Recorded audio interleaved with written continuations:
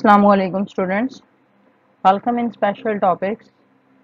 Uh, today we are going to see a very interesting and uh, uh, important lecture which is applications of boiling point elevation and depression of freezing point phenomena.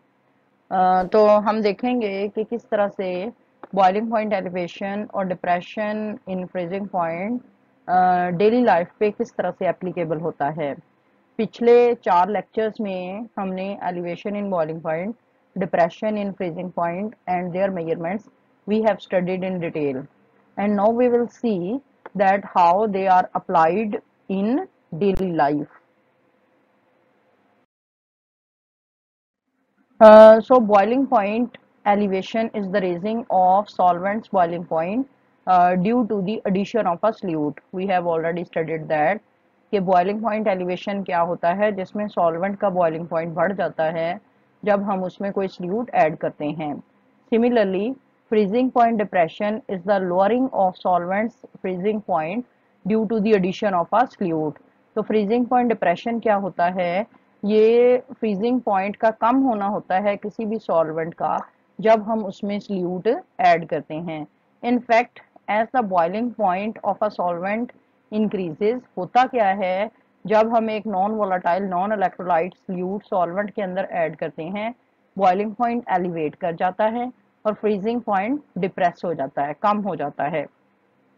अच्छा जी अब हमने आ, साथ साथ ये तो देख लिया कि किस तरह से हम मोलिकुलर मास को डिटरमिन कर सकते हैं।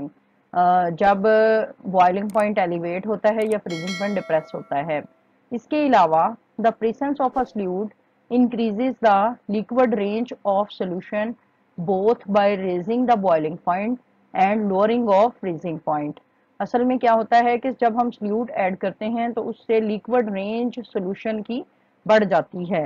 अगर हम for example water as a solvent consider करें और उसमें हम कोई सल्यूट ऐड कर दें फॉर एग्जांपल यूरिया या ग्लूकोज तो उससे क्या होगा कि उसकी जो लिक्विड रेंज है वाटर की बढ़ जाएगी। यानी अब लिक्विड रेंज वाटर की वैसे कॉमनली लिक्विड रेंज है ज़ीरो से हंड्रेड आपको पता है ज़ीरो से नीचे ज़ीरो पे यानी पानी जमना शुरू कर देता है और उससे नीचे वो सॉलिड फॉर्म में होता है, बर्फ़ फॉर्म में। जबकि हंड्रेड पे पानी उबलना शुरू कर देता है और हंड्रेड से ऊपर वो वाटर में वाटर वेपर्स की फॉर्म में होता है। तो इसका मतलब जिस टेम्परेचर पे वो लिक्विड फॉर्म में एग्जिस्ट करता है, वो है ज़ीरो से हंड्रेड वो ज़ीरो से हंड्रेड है। तो जब हम स्ल्यूट ऐड कर देंगे तो उससे क्या होगा कि वाटर फ्रीज करेगा ज़ीरो से कम टेम्परेचर पे और वाटर बॉयल करेगा हंड्रेड से अब तो इस तरह से उसकी जो फिर लिक्विड रेंज है, वो इंक्रीज कर जाएगी, ठीक है?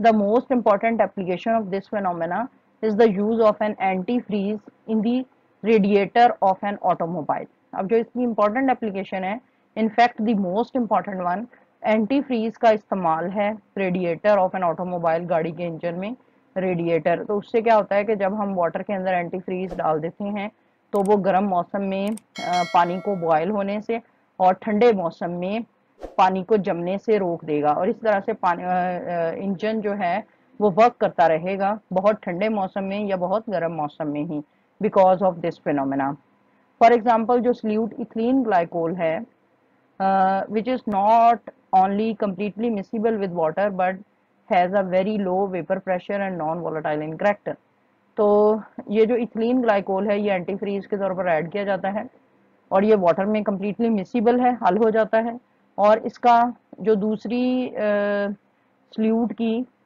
जो पैरामीटर्स हैं, वो भी कंडीशंस को फुलफिल करता है, यानी हाईली नॉन वोलाटाइल है लो प्रेशर है इसका और इसके अलावा नॉन इलेक्ट्रोलाइट तो ये है ही।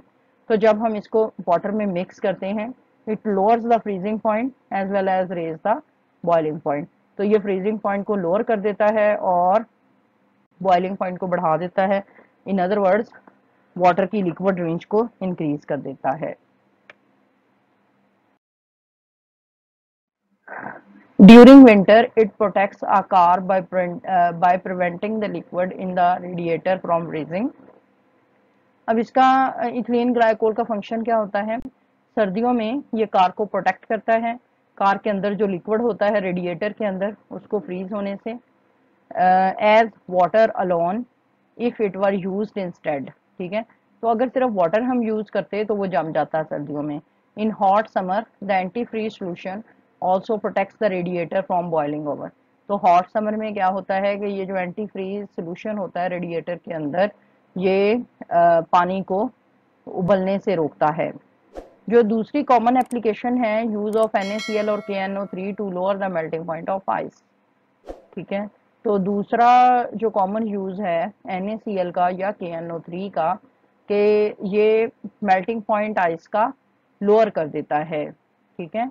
NaCl या KNO3 one can prepare a freezing mixture for use in an ice cream machine और इससे क्या होता है कि आइसक्रीम मशीन के अंदर ये वाला NaCl हम डाल देते हैं, ठीक है? और उससे क्या होता है कि जो आइस का मेल्टिंग पॉइंट है, वो लोअर हो जाता है, यानी अब वो इतनी जल्दी नहीं पिघलती, ठीक है? और उससे क्या होता है कि ज़्यादा देर तक ये फ्रीजिंग मिक्सचर इसको ठंडा रखने में काम करता है। तो आपने बचपन में अक्सर देखा होगा कि जो रेडियो पे कुल्फियाँ बेचते हैं तो उनकी जो नमक है maybe you have tested it तो वो ज़रा नमकीन बर्फ़ जो है वो नमकीन होती है क्योंकि बर्फ़ के अंदर उन्होंने नमक डाला होता है। नमक डालने का फ़ायदा ये होता है कि फ्रीजिंग पॉइंट जो है डिप्रेस हो जाता है और अब जिस आ, मतलब पानी ने ज़ीरो डिग्री सेंटीग्रेड पे या बर्फ़ ने जमना होता है तो वो जो है ना ज़्यादा मकदार में ठंडक अपने अंदर एब्जॉर्ब करने के काबिल हो जाता है, उसका फ्रीजिंग पॉइंट डिप्रेस हो जाता है और वो ज़्यादा देर तक ठंडा रहता है। तो फ्रीजिंग मिक्सचर के इस्तेमाल से हम चीज़ों को ज़्यादा देर तक ठंडा रख सकते हैं। This is another application of these phenomena that is lowering of freezing point और depression of freezing point and elevation of boiling point specifically this is related with depression of freezing point से ये related है।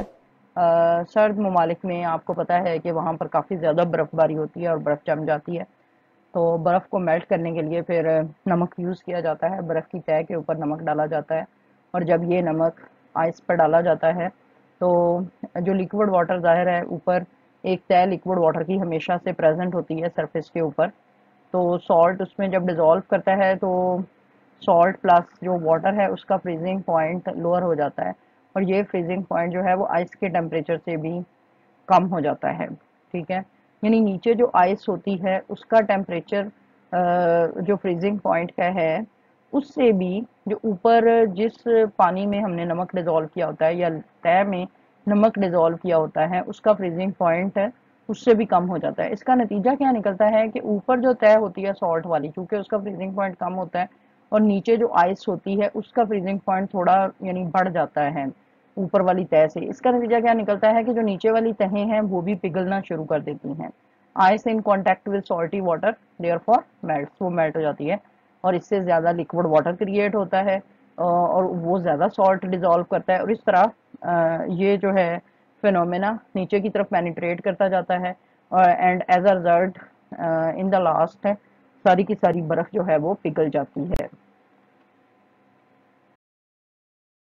तो अब इसमें you can see right so the practical application salt lowers freezing point on icy roads as I already said यानी ये salt को अगर हम आईसी रोड्स पे डालेंगे तो इसी फिनोमेना की वजह से आ, वो उसको आईसी जो रोड्स पे आइस है उसको मेल्ट कर देगी।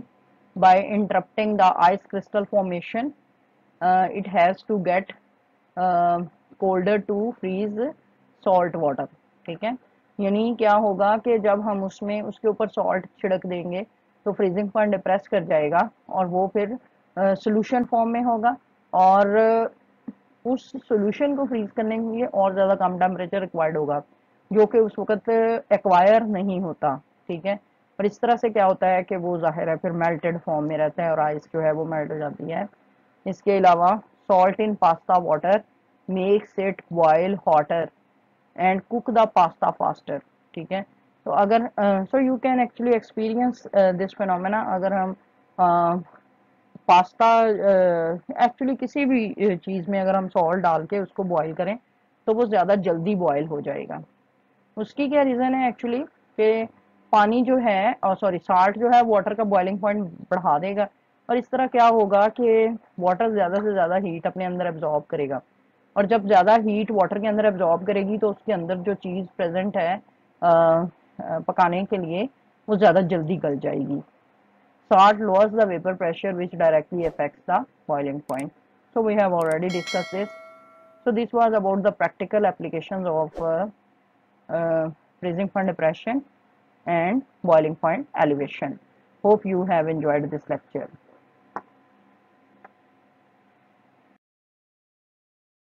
thank you very much for watching this video. If you have enjoyed please uh, subscribe like and share so that others may also be benefited. Thank you very much. Allah hafiz